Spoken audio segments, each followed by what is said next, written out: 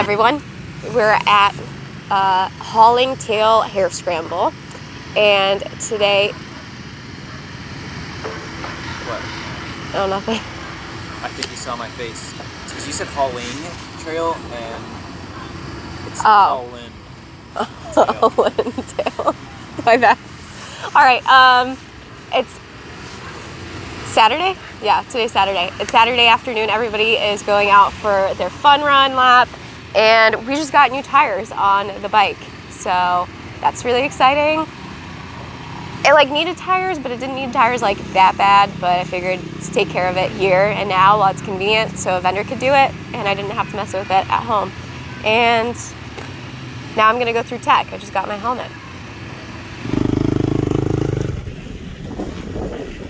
Disappoint everybody and let them know that I'm not racing the big pig this what? weekend. This is news to me. Yeah. Okay, here's what happened.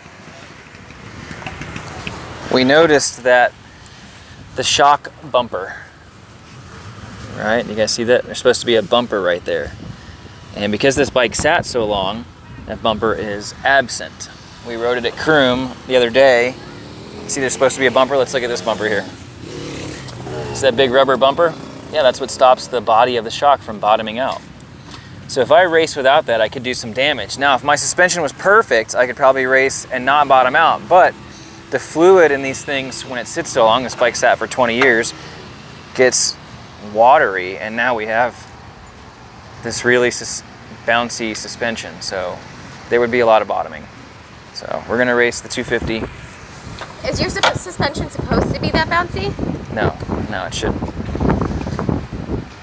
I guess the whole reason why shocks exist. If it were just a spring, it would be bouncy, but it's a spring and a shock absorber, and that's what kind of makes it smooth. But that's just like, it's way too springy. I could race it like that, but it, I could also, it could get hot and get worse, and I would get a DNF, and I don't want a DNF here because I think I DNF'd last time here. I ran out of gas, and I just, I don't want to, I don't want to not finish. I want to finish. Where are you going? Tech inspection time.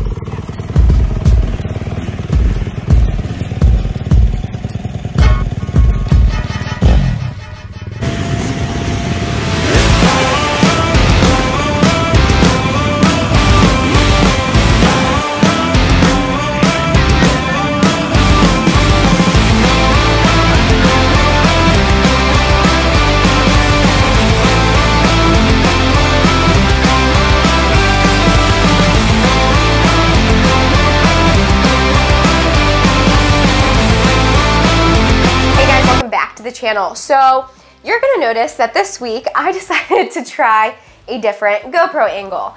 And I decided to put my GoPro on my front fender instead of wearing my chest mount that I normally wear. And it didn't work out so well. the freaking GoPro fell off just a couple of miles into the race.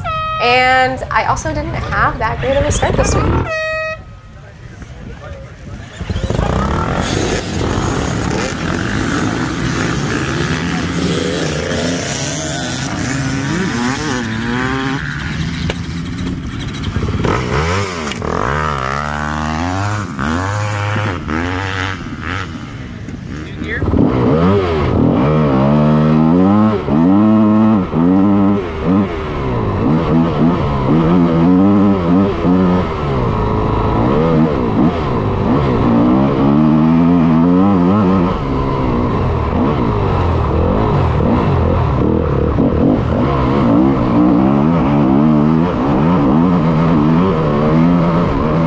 So I just passed Laura. She's a girl in my class, and then right off of the start, if you pay attention, you see a KTM to my right hand side.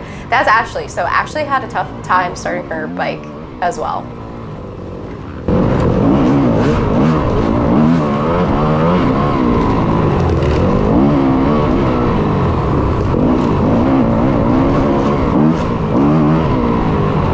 Really too exciting going on here. There's just whoops and sand. This property was super dusty. It would have probably been nice if they had gotten some rain. There was like one mud mud area, but you could totally go around it so you didn't get muddy. That's what I did. I took like the right line that nobody else was taking. Um, but yeah, I just had nowhere to go. I was like first and second place are way far ahead of me. So I'm just gonna ride smart and try to stay off the ground.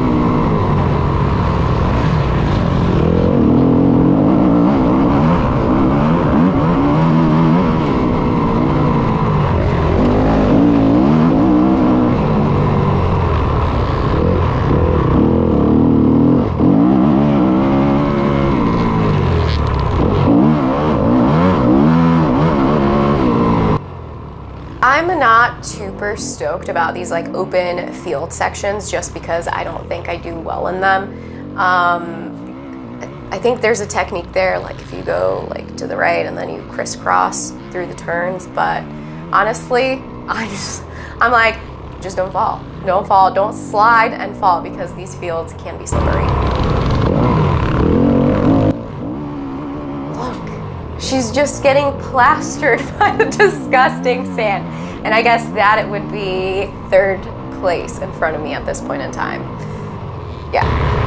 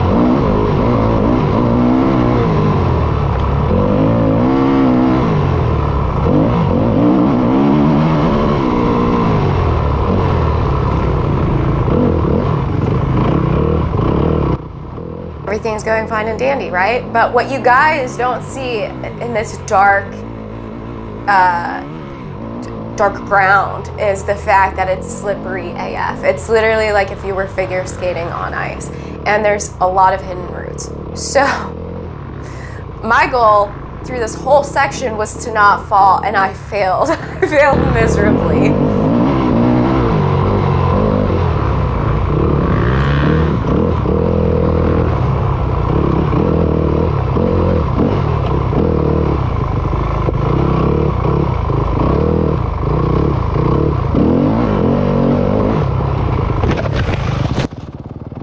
Guy to the left of me kind of got tossed up and i'm like oh need to be super careful. And i think i got a little uh, line crazy and i tried to steer to the right and then i steered to the left and then i ended up hitting a tree with my front fender and then the camera came off and that's where the gopro footage ended.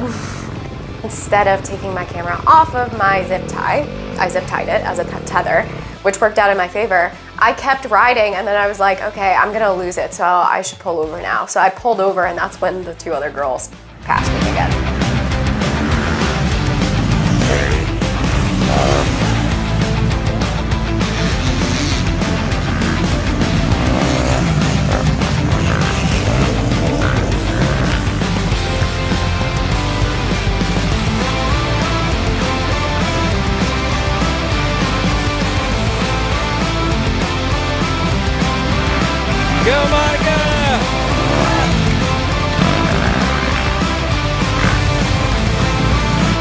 Sums up of my race on my second lap.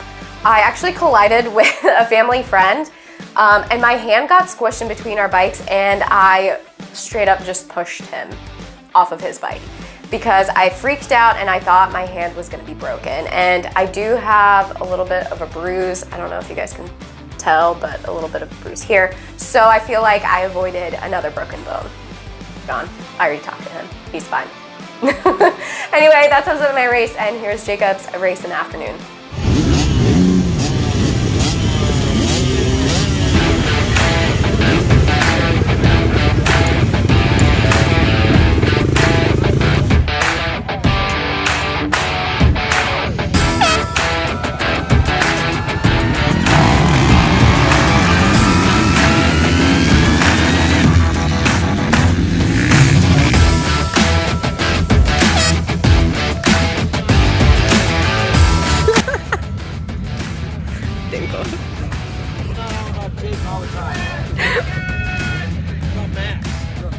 In the vlog. Hi, Ron.